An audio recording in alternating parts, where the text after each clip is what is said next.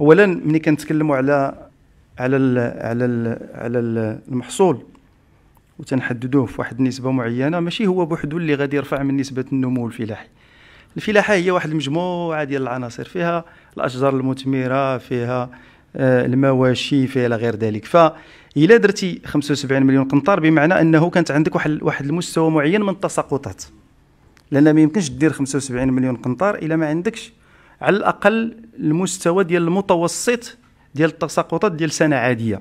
فلذلك يتم دائما الحديث على هذا المعطى اللي هو معطى مهم جدا. ومن خلاله كنعكسوه على القطاعات المنتجة الأخرى بما فيها الأشجار المثمرة بما فيها يعني الإنتاج الحيواني بما فيها يعني الزراعات الأخرى المرتبطة بال يعني بالدعامات الثانية إلى غير ذلك من القطاعات. معدل النمو اولا المؤسسة ديال المؤسسه ديال التخطيط هي مؤسسة مهمة جدا. وغتلاحظوا بأنه هذه الحكومة هي اللي ما عمرها ما كانت تتشكى ولا كانت يعني كت كانت كت كت كتقول للمؤسسة ديال التخطيط ما تمارسيش شغلك بالعكس في كل لحظة لحظة وفي كل مناسبة كنا ننوه بالعمل ديال هذه المؤسسة لأنه عمل مهم جدا.